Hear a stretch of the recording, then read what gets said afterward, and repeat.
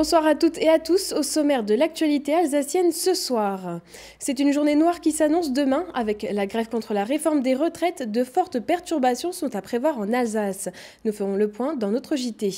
Faire du sport sur une chaise ou encore s'initier à la langue des signes, la SPTT Strasbourg a proposé des activités pour sensibiliser les enfants au handicap. Et puis le marché de Noël alsacien s'exporte à New York. Nous retrouvons notre envoyé spécial Anna Britt sur place à l'approche de l'ouverture. Mais pour commencer, nous l'avons appris hier, un cimetière israélite a été profané en Alsace dans la nuit de lundi à mardi. À Westhofen, plus d'une centaine de tombes ont été souillées d'inscriptions antisémites. Le matin même, des tags racistes avaient été découverts dans la commune de Schlafhouse-sur-Zorn. De passage en Alsace, le ministre de l'Intérieur Christophe Castaner s'est rendu sur place ce matin. Reportage de Cécile Motz et Adrien Labi. Après Erlisheim en 2018, Quatzenheim en début d'année, dans la nuit de lundi à mardi, c'est à Westhofen que des tombes juives ont à nouveau été profanées. Ce matin, les habitants étaient nombreux à venir constater l'étendue des dégâts. Sur les 700 stèles du cimetière, 107 ont été taguées de croix gammées ou affublées du nombre 14, considérées comme un symbole suprémaciste blanc. En visite en Alsace ce matin, le ministre de l'Intérieur, Christophe Castaner, est venu sur place pour constater les faits. Le gouvernement est totalement engagé sur ce sujet et nous ferons en sorte que les auteurs qui commettent cela ici soient condamnés. Comme nous devons mener les enquêtes sur l'ensemble de ceux qui mettent en cause notre principe de laïcité, fait de cette garantie de croire, que l'on soit chrétien, que l'on soit juif, que l'on soit protestant, que l'on soit musulman, nous devons veiller à ce que la concorde nationale n'accepte pas ce qui s'est passé ici dans ce petit cimetière d'Alsace. Une minute de silence a aussi été respectée puis une prière juive a été proclamée.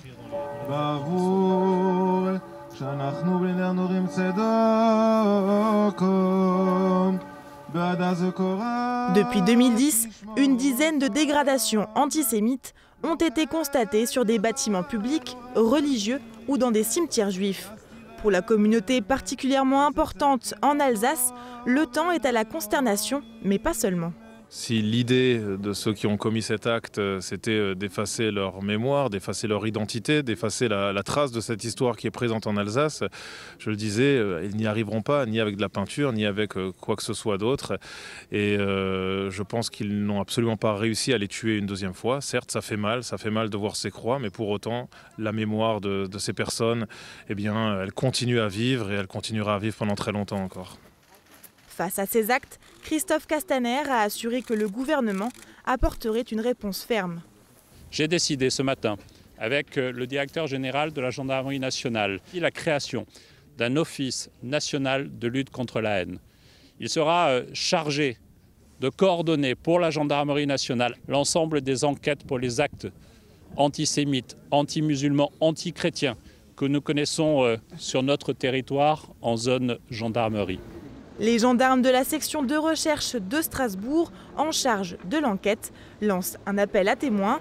Toute personne qui aurait des informations sur cette profanation est invitée à composer le 17. Il y a un an, Strasbourg était victime d'une attaque terroriste. Cinq personnes ont perdu la vie le 11 décembre 2018. Une journée de commémoration leur rendra hommage mercredi prochain. Des prises de parole, chants et lectures sont prévues à la cathédrale de 19h à 21h. Une stèle mémorielle et la plantation d'un arbre auront également lieu place de la République vers 15h. Cheminots, professeurs, avocats, personnel hospitalier, étudiants, ils seront nombreux demain à descendre dans la rue pour dire non à la réforme des retraites. Et la mobilisation en Alsace s'annonce forte. De nombreuses écoles, collèges et lycées resteront porte close jeudi. Le rectorat a recensé 162 établissements fermés sur les 794 que compte le Bas-Rhin. Dans le Haut-Rhin, 72% de grévistes sont déclarés selon le syndicat SNUP-FSU. Beaucoup d'écoles assureront tout de même un service minimum d'accueil. À noter qu'à Strasbourg, aucune cantine scolaire ne sera ouverte. La circulation ferroviaire sera aussi perturbée sur l'ensemble du réseau alsacien et ce dès ce soir. Un TR sur trois en moyenne sera supprimé La circulation est limitée à deux lignes régionales entre Strasbourg-Bâle et Savane-Strasbourg. Concernant les TGV, un Inouï, un Ouigo et un Lyria assurant chacun un aller-retour vers Paris et Bâle. Côté transport en commun, à Strasbourg, la direction de la CTS annonce que seules les lignes A et B circuleront de 6h à 20h. La fréquence et les horaires des bus seront également modifiés. Et à Mulhouse, la moitié du personnel sera en grève selon les syndicats de Soléa. La circulation devrait revenir à la normale dès le vendredi 6 décembre. C'était hier la journée internationale des personnes handicapées. Proclamée depuis 1992, elle vise à promouvoir les droits et le bien-être des personnes en situation de handicap au sein de la société. La SPTT Strasbourg en a profité pour sensibiliser les enfants au sport adapté. Au programme, ateliers découvertes et activités physiques au centre sportif ouest de Königshofen. Un reportage de Gilles Kunz.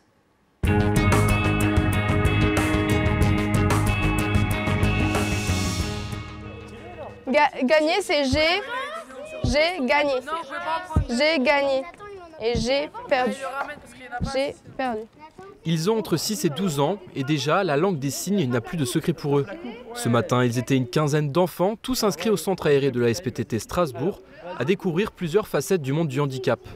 On a profité de la semaine du handicap pour proposer différents ateliers autour du handicap aux jeunes enfants qui sont là dans le cadre du centre aéré tous les mercredis. L'objectif c'était de sensibiliser les enfants et leur montrer un peu et leur faire prendre conscience de ce que les personnes handicapées vivent euh, au quotidien. Au programme de cette matinée sportive, six ateliers différents. En plus de la langue des signes, les enfants ont pu découvrir les sports paralympiques. Ils ont aussi pu jouer au badminton et shooter avec une balle de basket mais à une condition, rester bien assis sur leur chaise. Ils sont très réceptifs, euh, ils apprennent très vite et, il est important de les, sensibiliser euh, quel que soit l'âge. On est dans une société où euh, l'inclusion est importante, où tout est fait pour inclure les personnes en situation de handicap. Du coup, ils seront forcément confrontés un jour ou l'autre à une situation, soit pour accueillir une personne, soit eux-mêmes en situation de handicap. Et pour que l'initiation soit encore plus réaliste, les enfants ont été parfois privés de certains de leurs sens, notamment la vue. Bah, c'est important parce que euh, après on, sait ce qu'ils peuvent ressentir, euh, on sait euh, comment ils se sentent et qu'est-ce qu'ils peuvent faire pendant, pendant qu'ils font leur sport. J'aime bien voir qu'est-ce que ça fait d'être handicapé et voir si, enfin, comme ça peut être dur. Je, je, ratais pratiquement tout et je, me, rends compte à quel point c'est difficile. Et aussi, il y avait un petit garçon en fauteuil roulant et bah, quand je regardais comment il le faisait facilement, et bah, je me suis dit que ça devait vraiment être très dur pour lui. Après s'être mis dans la peau d'un sportif handicapé, les enfants ont pu rencontrer et échanger avec Jules Ripstein, champion d'Europe et du monde en titre de paratriathlon. De quoi peut-être les motiver à s'intéresser aux Jeux paralympiques de Tokyo l'été prochain. Pour finir ce JT, on vous propose de partir en voyage direction New York. Une délégation d'exposants réalise ses derniers préparatifs avant l'ouverture d'un marché de Noël 100% alsacien qui se déroulera du 6 au 22 décembre dans les rues de la ville américaine. Notre envoyé spécial Anna Brist vous en dit plus. Bonjour Camille, bonjour à tous. Et oui, contrairement aux apparences, je ne suis pas ici au marché de Noël de Strasbourg, Colmar ou Mulhouse, mais bien à New York. Alors pour ceux qui connaîtraient un petit peu, on est ici situé sur le sud de l'île de Manhattan. On est à quelques mètres du fameux euh, taureau de Wall Street, le Charging Bull. Il y a la Statue de la Liberté également, qui est pas très loin. Et c'est ici qu'une trentaine de chalets alsaciens se sont installés il y a quelques jours. Alors euh, à l'origine de tout ça, il y a l'Agence régionale du tourisme du Grand Est, les offices du tourisme de Strasbourg, Colmar et Mulhouse, les collectivités, puis surtout beaucoup d'artisans, beaucoup d'exposants qui ont pour mission, qui ont pour objectif de séduire les Américains et les touristes pendant quelques semaines avec euh, de nombreux objets. Donc il y a de la poterie, il y a des pains d'épices. Tout ça est arrivé en conteneur depuis l'Alsace. Il y a à peu près un mois, cinq conteneurs sont partis. Ils ont dû traverser l'Atlantique. Et donc c'est depuis quelques jours que les derniers préparatifs vont bon train. Alors avant de vous en montrer un petit peu plus, ce sera demain. Je vous propose un petit retour en arrière.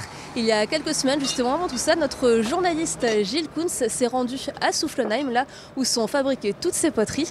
Et il a rencontré la famille Siegfried Burger à l'origine de cette poterie. Donc, donc on repart tout de suite de l'autre côté de l'Atlantique. Et moi, je vous dis à demain.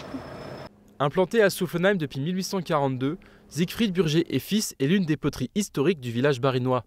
À l'intérieur de la boutique, la décoration ne laisse aucun doute, Noël approche. Et cette année, l'entreprise a reçu son cadeau avant l'heure. Ces produits feront partie de ceux en vente au marché de Noël de New York dès ce vendredi. Les États-Unis, c'est grandiose. Euh, notre produit est apprécié par les Américains. Ce qu'ils adorent, c'est les plats à four, hein, les terinabekov, hein, vraiment les, produits utiles. Et après aussi beaucoup euh, les sujets accrochés au sapin de Noël pour euh, vraiment embellir leur maison. Et ensuite, tout ce qui est décoré avec des petits bonhommes, hein, ça, c'est des choses qu'ils adorent. Et ensuite, bien sûr, le bleu traditionnel, les bleus fleurs, qui est vraiment l'emblématique de, de Souffenheim. C'est la deuxième fois que la marque s'exporte pour un marché de Noël, après celui de Moscou en 2012. Déjà grande amatrice de la poterie alsacienne, la clientèle américaine va être gâtée. Pour l'occasion, Siegfried Burger a confectionné des petits moules spéciaux, comme cette étoile de Noël et ce sapin. Il faut fabriquer aussi des produits qui sont abordables et des produits, euh, bien sûr, euh, faits main, faits artisanalement. Et donc pour ça, le sapin de Noël, c'est juste une belle petite pièce que tout le monde peut s'en approprier sans problème. En tout, 2000 pièces ont été expédiées outre-Atlantique. Nul doute que nombre d'entre elles devraient trouver leur place dans les armoires new-yorkaises. Et on repartira à New York demain pour suivre les derniers préparatifs et l'inauguration du marché. Mais en attendant, voici l'image du jour signée Olivier Anne. C'est sur son compte Instagram que la confidentielle parution Alsace officielle lance son sondage de l'année 2019. Rien de très original, si vous consentez à donner votre adresse mail, vous pourrez voter pour le plus beau village alsacien de l'année, le meilleur hôtel ou la meilleure spécialité alsacienne. Mais la question qui a retenu notre attention est celle de la personnalité alsacienne de l'année. Nous, on ne va pas pouvoir voter car on refuse de trancher entre nos deux chroniqueurs, Delphine Vespizer et Nicolas Riffel.